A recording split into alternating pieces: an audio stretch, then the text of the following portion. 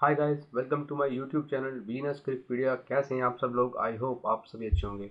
तो बात करेंगे आज होने वाले मैचेस की। एक है आपका इंडिया वर्सेस साउथ अफ्रीका जो शाम को सात बजे होने जा रहा है। और एक है आपका ढाई बजे लंका और ऑस्ट्रेलिया वाला। दोनों मैचों की बात करेंगे, फटाफट चलो चलते हैं आगे। पहले बात कर लेते हैं। पहले मैं ऑस्ट्रेलिया लंका का है तो इसकी बात कर लेते हैं। दोनों टीमों में इंजरी के कंसर्न्स हैं। उधर हसरंगा बाहर हैं। उधर आपका मिचर मार्स ऑलरेडी बाहर है। वो खेल नहीं रहे हैं। कमिंस भी चोटिल हो गए हैं मेरे ख्याल से। लास्ट बात आई थी, अभी स्टार भी चोटिल पड़े हैं और अभी स्मिथ का भी डाइसी हो गया श्योर नहीं है कि वो खेलेंगे कि नहीं। अगर वो नहीं खेलते हैं तो कहा जा रहा है कि कैमरून ग्रीन या फिर जोश इंग्लिश को अंदर लाया जा सकता है।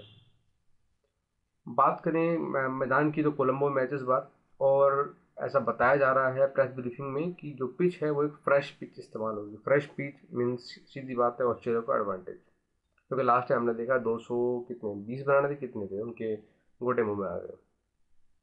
देखो तो श्रीलंका के पास में कोई बहुत ही अच्छे प्लेयर हैं। अच्छे प्लेयर में मतलब जो ओडिया के अच्छे प्लेयर टी ट्वेंटी में तो उनकी पॉलिसी मेरे को समझ नहीं आती। टी ट्वेंटी में देखो, वो एक जो रोकने वाला प्लेयर होता है ना, वो मैक्स टू मैक्स एक या दो होनी चाहिए, बस, इससे ऊपर नहीं। और वो टी ट्वेंटी में खिलाते हैं, आपका वो कृष्ण मेंडिस को भी खिलाते हैं, वो निशंका को भी खिलाते हैं। वो धनंजय सिल्वा को भी खिलाते हैं। समटाइम चंडीमल को भी खिलाते हैं। तो प्यार से मैं रंडीमल बोलता हूँ उसे। क्योंकि अब हालाँकि कुछ दिनों में रिसेंट टाइम में वो थोड़ा सा अच्छा हुआ है टी ट्वेंटी में। लेकिन फिर भी वो एक ऐसा प्लेयर है जो अपने बेस्ट जब उसका खेलेगा, तब वो टी ट्वेंटी पाएगा। ठीक? तो नेचुरल का गेम नहीं है। टी ट्वेंटी का वो एज ए हिटर नहीं है लाइक आप बोले तो। तो लंका वाले ऐसी टीम खिलाते हैं टीम में तीन चार प्लेयर से खेलते हैं। उसमें भी इनके पास शनाका एक आप बोल सकते हो, पावर हिटर वो भी शुरू में आके गेंदे खाता है। बाकी सब प्लेयर ऐसे हैं, आप जैसे इनके पास प्लेयर था पहले सीकू के प्रसन्ना, वो आते ही मारता था हिटर था, अभी भी खेलता है, वो लास्ट ईयर उसने मैच उड़ाया सीकू के प्रसन्ना है दिलशान था, जयसूर्य था, उस टाइप के प्लेयर्स इनके पास नहीं रहे हैं, एक कुशल प्लेयर था, वो अभी ये पता नहीं कहाँ गायब हो गया, मुझे पता नहीं। लेकिन इनकी टीम मुझे वनडे में अच्छी लगती है। निशांका प्रॉपर वनडे का बल्लेबाज है टेक्निक अच्छी है उसकी टेम्परामेंट अच्छा है। फिर असलंका असलंका में तो आप नज़र रखिएगा। ये आपको आने वाले समय में दो तीन साल में आपको ये आईपीएल में दिखाई दे सकता है। जिस तरह की रेंज और शॉट्स इसके पास हैं, बहुत कम बैट्समैन मैंने देखे हैं, इतने कॉम्पैक्ट बैट्समैन जिसको बोलते हैं। अगर ये अपने गेम पे मेहनत किया जो कि ज़ाहिर सी बात करेगा ही तो मेरे ख्याल से ये नाम ज़रूर कमाएगा। एक इनका ये धनंजय डिसिल्वा भी है ये बैटिंग भी अच्छी कर लेता है बॉलिंग भी अच्छी करता है। मैं तो आ, मतलब स्टार्टिंग में उसको देख के लगता है कि इतना अच्छा बॉलर ही होगा लेकिन अभी ये दस दस ओवर डाल देता है और अच्छी बॉलिंग करके जाता है। अच्छा फील्डर भी है। तो जो इनकी वनडे की टीम है ना जो वनडे में टीम होनी चाहिए वो इनकी अच्छी बन जा रही है।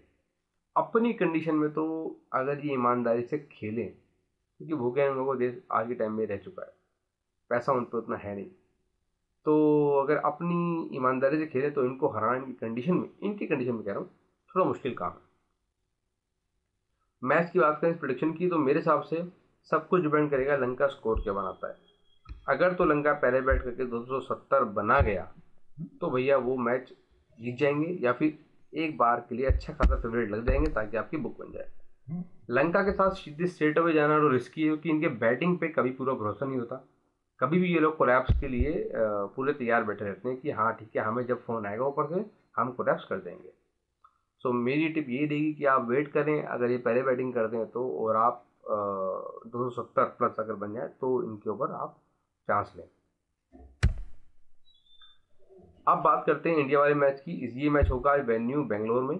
और बेंगलोर के बारे में आप सभी जानते हैं कि जो पिच है वो जनरली बहुत ही बैटिंग को सपोर्ट करती है। 180 प्लस के स्कोर आमतौर बनते हैं। और, कई बार 200 रन भी कितनी बार चीज़ हो चुका है वहाँ पर। चेजिंग टीम का एडवांटेज रहता है। मेरे ख्याल से 81 मैचेस में से 44 या 45 मैचेस जो है वो चेजिंग जीते हैं। देखो तो वैसे बहुत एज नहीं है, लेकिन जो बाकी 37 मैचेस हैं, उनमें भी चेजिंग एक बार लो लग के हार गई, कहने का मतलब ये।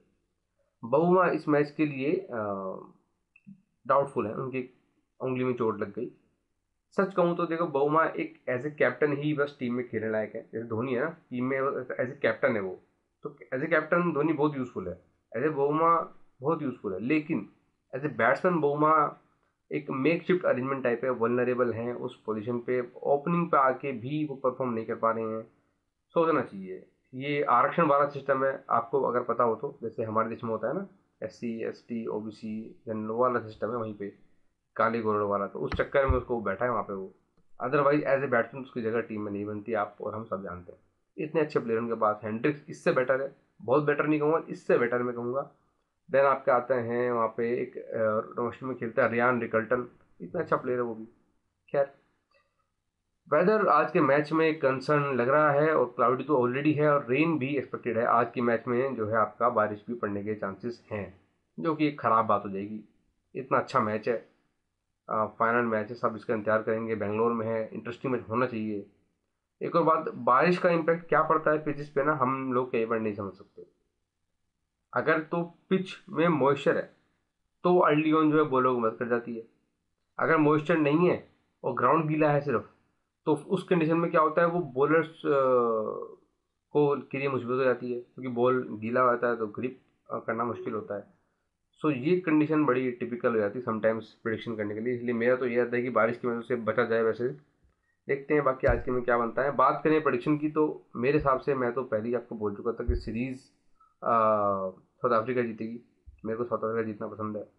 अब ये इतना फ्रस्ट्रेटेड टाइम चल रहा है अभी राइट नाउ पहला मैच में हमने जीत लिया। दूसरे मैच में हमने कोई टिप नहीं दिया, काम नहीं करा। तीसरे मैच से हमने अफ्रीका पकड़नी स्टार्ट की। तीसरे में वो हार गई, चौथे में भी हार गई। चौथा मैच तो क्या लगभग जीता हुआ हारे वहाँ से जब ये अस्सी पे इनके चार आउट थे, वहाँ से 130 रन से ऊपर नहीं बन रहे थे इनके। पर ये बनवाए कितने? वन सेवेंटी शायद? One sixty nine? तो ये बहुत बड़ा स्कोर बन गया था उस पिच के हिसाब से। वो दिख ही गया था खैर कि वो अब शायद चीज़ नहीं होगा। खैर, जो भी था, दो मैच से इस पर रही थी साउथ अफ्रीका पे, आज भी साउथ अफ्रीका पे ही रहेंगे। उसके साथ ही रहेंगे। मैं तो उसके साथ ही जाऊँगा। अगर आपको कुछ और पसंद है तो आप आप वो भी कर सकते हैं। मैं कोई वाली बात नहीं, मैं ये नहीं कह रहा हूँ कि मैं साउथ अफ्रीका मेरे को पसंद तो साउथ अफ्रीका जीत ही जाएगी, बट मुझे पसंद है और मैं उसके बाद बेट करूँगा, ये मेरी वो रहेगी।